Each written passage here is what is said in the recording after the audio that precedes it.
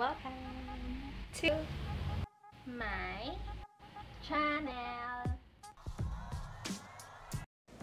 So, ayan, Nestle cream, Devop, the sweet ham, the nor pork and the bawang, and then this one. Mura lang kasi to kaya ayan. And then the cheese. Ayan. And then before tayo magluto ng carbonara, yung sauce, magpakulunan tayo ng water. Onion and pepper. And then yung ham, slice nyo siya into cubes. And then, gayatin na natin si onion and garlic. Actually, hindi ko siya nilalagyan ng sibuyas, pero wala lang, nilagyan ko lang. And then, ayan, magsusaute na tayo. Oil. And then, that's the time pwede na natin ihulog si bawang. Ayan. Actually, hinuhulog ko yung sibuyas pag medyo golden brown na si bawang. Kaya keep on mixing lang. Then, check nyo nga kung golden brown na si bawang. And then, that's the time pwede na nating ihulog si sibuyas. Ayan, di ba? Golden brown. Pwede na nating ihulog si sibuyas.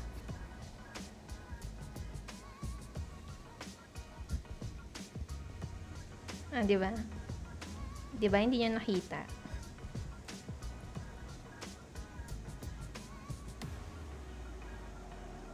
And then, ayan, keep on mixing. Pag okay na, pwede nyo na ding ihulog si sweet ham.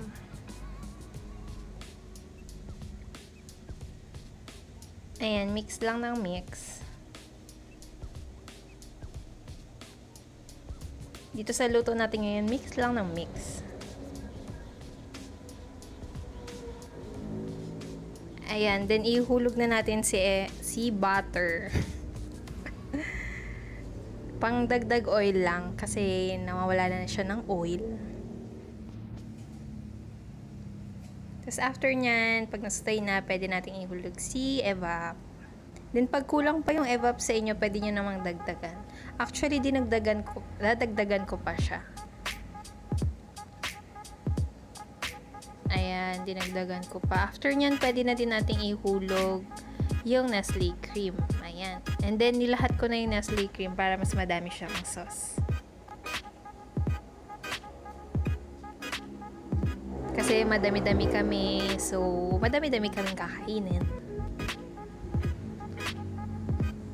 And then, after nyan, yan, paminta. Then, halo-halo lang. Actually, hindi ko na siya lalagyan ng asin. Kasi, may ilalagay ako dyan na nor pork. Pampaalat din, tsaka pampalasa. Ayan, nor pork. Pero asin is life, ba diba? Kaya yung pinakuluan kong noodles, nilagyan ko ng asin. And then, ayan ha.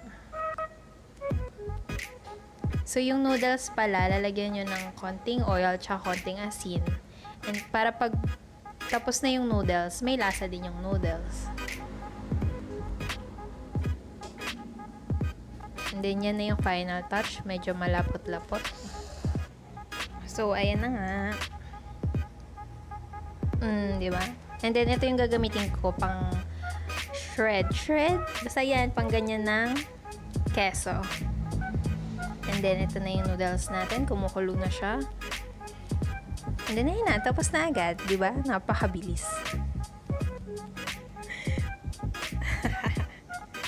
And then, ayan. Salain na. And then, the final touch. Di ba? Ang sarap. So, guys, this is how I make my own carbonara. So guys, don't forget to like and subscribe. See you in my next vlog.